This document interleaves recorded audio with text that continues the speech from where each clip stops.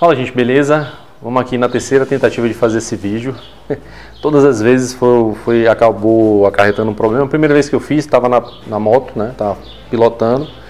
Mas usei esse microfone aqui e estava usando esse microfone aqui na, no capacete da, do, do, Luca, né? E o que acontece, não tem o, o dead cat e o vento acabou trazendo muito ruído. Bom, eu queria começar esse vídeo né, fazendo assim alguma, não digo uma série de perguntas, mas uma pergunta que é a seguinte: é, para ser motociclista você precisa de quê, né? O que, que você precisa para ser um motociclista?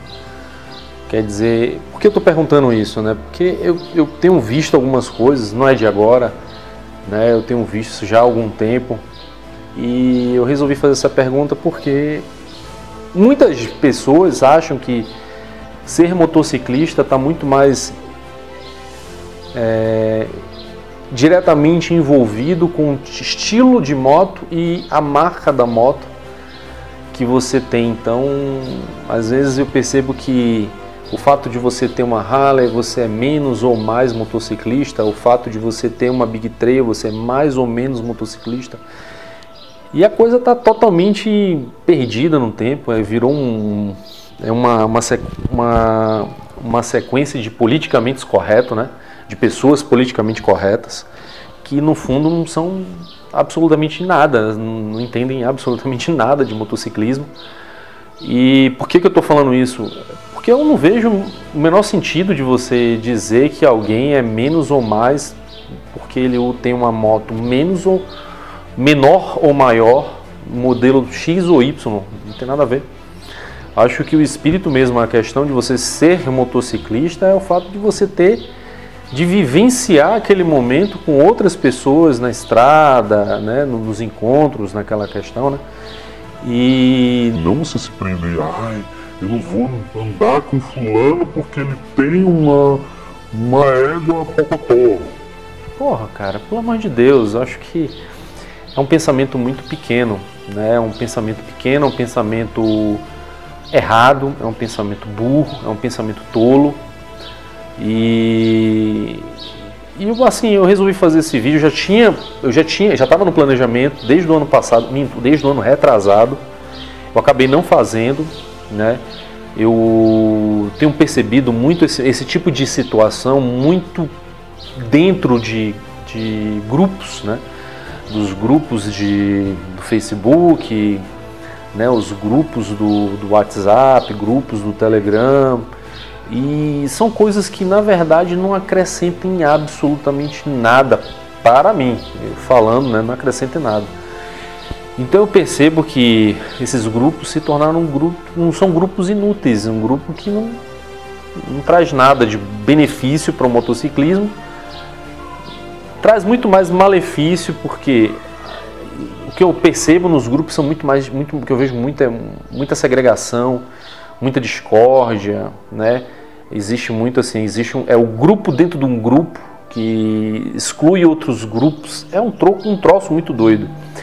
E aí os grupos do Facebook é a mesma pegada, porque às vezes você faz uma publicação, a pessoa, por mais que seja uma publicação, por exemplo, de uma pessoa que tem pouco conhecimento técnico de determinadas motos, aí o cara vai lá, publica, aí sempre tem um engraçadinho que solta uma piada em cima e por aí vai, e essa piada puxa outros, que, e outros e outros. E é isso, cara. Eu tinha escutado há um tempo atrás a questão de não existir mais a Irmandade, não existe mais Irmandade, não existe mais Espírito Bike, não existe... motociclista também é outra coisa que não existe mais. Esse papo, ah, eu sou motociclista. Não, não é. Não é. Acabou, cara. Acho que, primeiro que não deveria nem existir. Motociclista e motoqueiro é tudo a mesma coisa.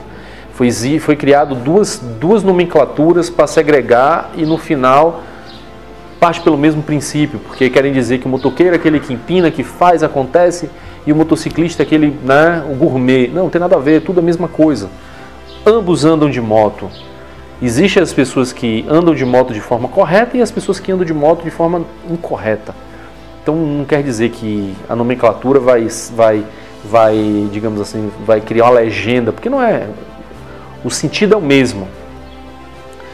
Então, Aí o que acontece? Eu percebi que né, os grupos aconteciam, né, esses grupos do, do, Facebook aconteciam esse tipo de coisa.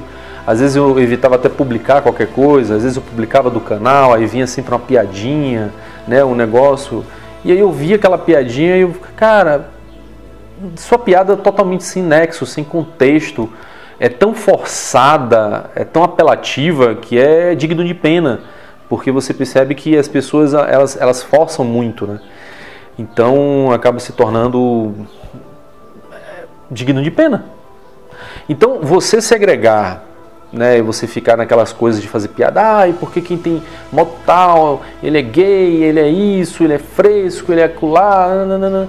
Aí a mesma coisa acontece no próprio Harley, ah, e porque a V-Road não é, não é Harley, ah, porque a Fan, ah, porque a XRE, ah, porque a, a Yamaha, a African Twin, ah, porque a BMW, cara, são motos, todas têm duas rodas e um motor. Aí o que, o que difere tudo isso é aquele que pilota, né? Aí que a diferença toda do contexto é esse quem que vai pilotar? É um realmente é um motoqueiro, um motociclista ou é um jumento? Existe sim, é aí sim que existe uma diferença, né?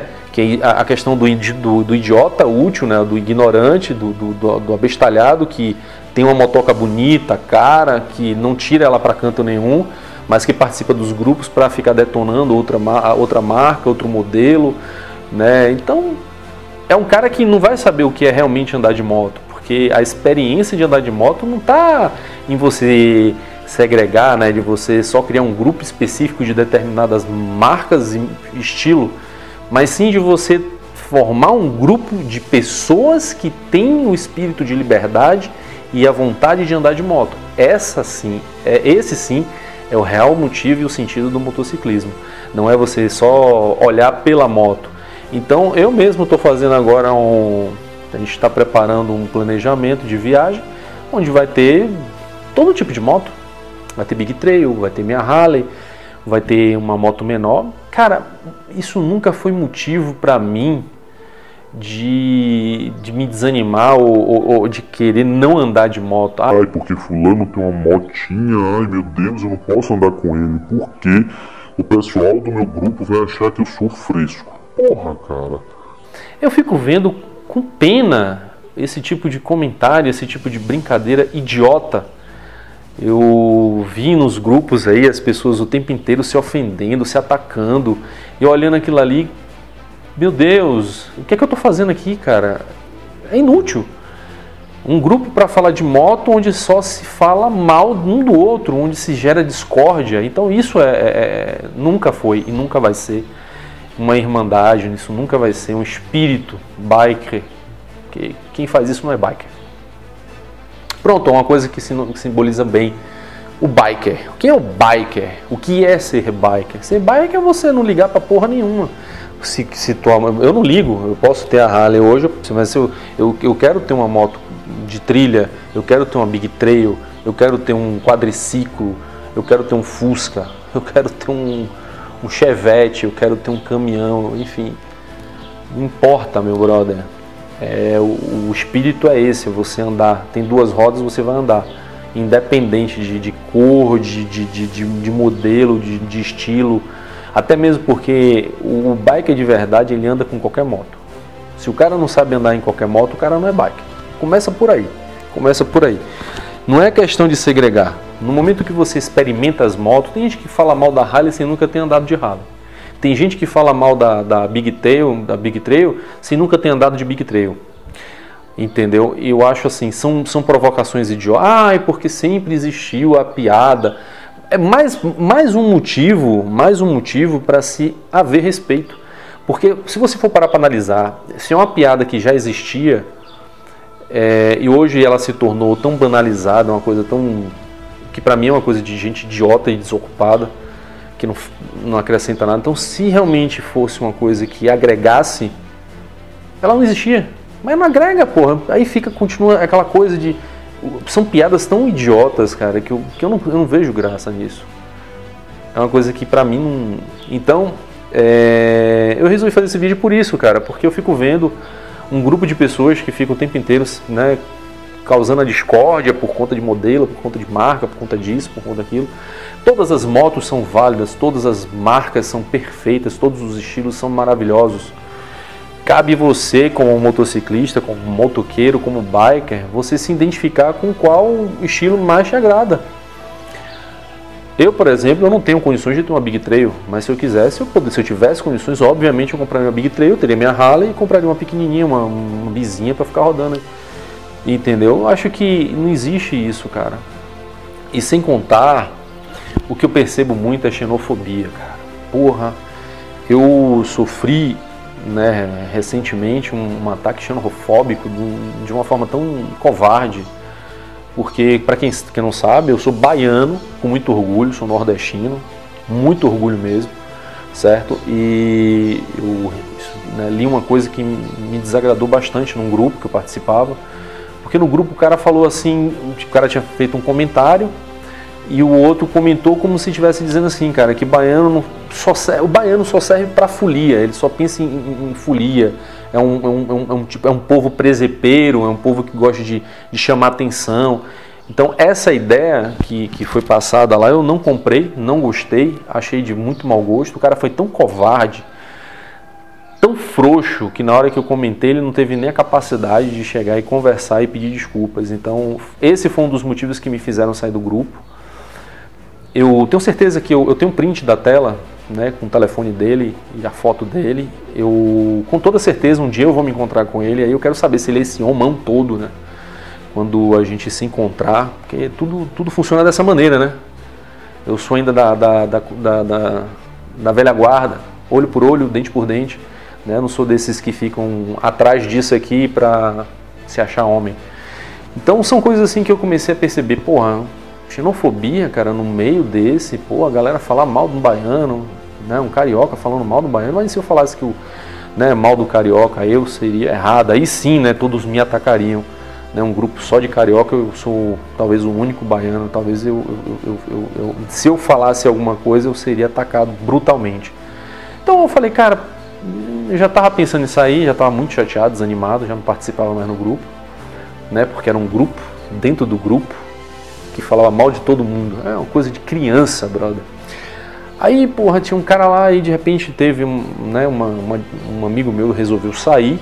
Né, eu não sabia, tanto que eu tava, não estava acompanhando, viu o que aconteceu, o contexto. Aí eu, caramba, cara.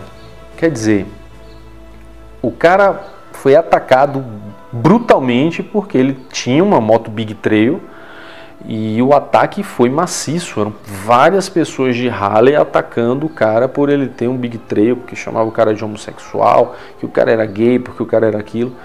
Aí eu te pergunto, cadê o respeito? Primeiro que o respeito teria que começar a partir de quem criou o canal, né, o grupo. Acho que isso era o mínimo, tinha que ter, ou botar ordem na casa. Então, acho que meu ponto de vista seria esse. Então, eu fiquei vendo, cara, foi uma covardia muito grande. E eu, de verdade, vendo aquilo, eu falei, cara, tá na hora de sair, sair. Foda-se. Então, gente, por que, que eu tô fazendo esse vídeo? Não é para falar mal de porcaria de ninguém, de porcaria de grupo, de nada, mas na verdade para alertar e mostrar a vocês que motociclismo não é essa pequena coisa. Porque para mim, cara, isso, essas atitudes são de gente pequena, são pessoas que realmente não sabem nada do mundo, não conhecem nada da vida. São pessoas que eu acho que nunca rodaram de fato em lugares que são bonitos, não esses que dinheiro compra, que dinheiro paga, mas o que o que você, os olhos, o seu sentimento vai ver. Porque o que o dinheiro paga é muito fácil, todo mundo conhece, mas o que o coração e o sentimento, né, o, o, espírito biker te leva, ah, meu brother, esse aí não é todo mundo que consegue ver não, e não consegue rodar não. Entendeu? São poucos são poucos que têm essa capacidade de visualizar. Né? Então eu fico triste porque cada vez mais pessoas com pensamento minúsculo como esse tá participando em vários movimentos, em vários eventos. Nunca fiz questão de participar de eventos por isso, porque eu sou muito chato, eu sou antissocial, eu não consigo me dar bem com é aquela coisa de você você abraçar quem te chicoteia. Não, eu não, não sou não sou Masoquista não, cara. Eu não sei, sei como é que funciona sadomasoquista, masoquista, quem gosta de apanhar, quem gosta de bater, uma porra dessa. Eu não gosto nem de bater, não, gosto de bater. quem me faz de besta, eu gosto de bater. Mas eu não gosto de apanhar, não. Então, cara, eu fico triste. Acho que o motociclismo ele perde muito, cara. Acho que a gente perde muito com isso, porque a gente deixa de fazer amizade por, por atitudes infantis. Se você for olhar ao pé da letra, são, são piadas infantis e covardes.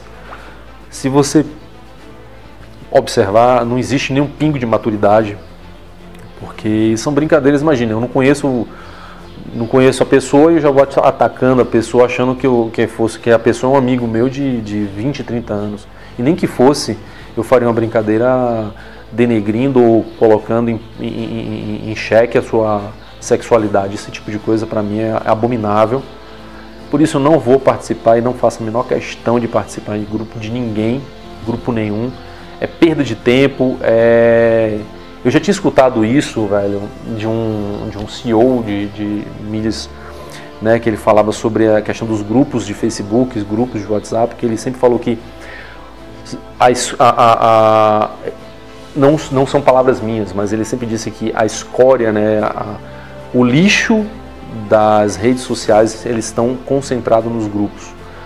Tanto que você em grupo de, de, de, de, Facebook, essas coisas, você nunca consegue engajar canal, você nunca consegue engajar empresa, porque ali está realmente, não é o nicho produtivo. Então é bem por aí. Eu não quero que ninguém se ofenda com o que eu falei, porque às vezes a gente fala as coisas, a cara pulsa, né?